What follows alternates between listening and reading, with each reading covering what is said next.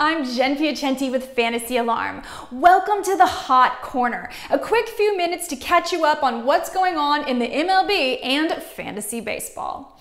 Your current home run leader for 2021 is a catcher.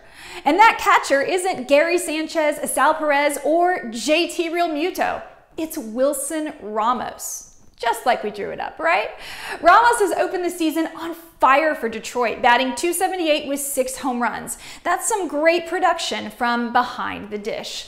On Wednesday, everyone was talking about Corbin Burnes. And no, not because of those flowing locks that would make even Noah Syndergaard jealous, because of his 10 strikeout game versus the Cubs. Now, yes, one could argue it was the Cubs.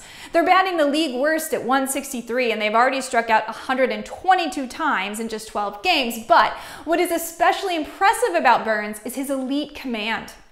Burnes has yet to walk a batter during his first three games, and he's striking out batters at a rate of nearly 15 per nine innings.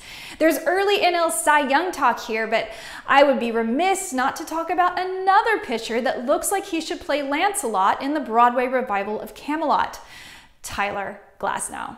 Glasnow had a career high 14 strikeout game versus the Rangers this week, and he's yet to give up the long ball, and he's only surrendered one run this year. And finally, in early NL Cy Young news, the Mets have yet to get Jacob DeGrom a win.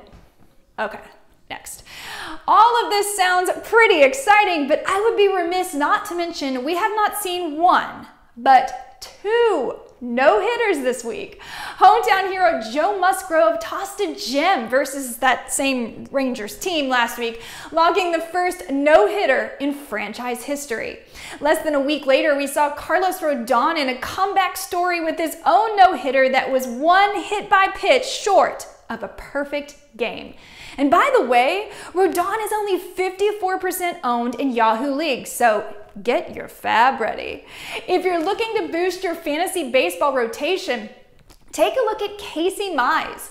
Mize had a career game versus the Astros this week, striking out five and walking two in seven scoreless innings. A top prospect for the Tigers, it looks like Mize may be coming into his own. He's surrendered only one run in two games this year, and next up, he gets the Oakland A's.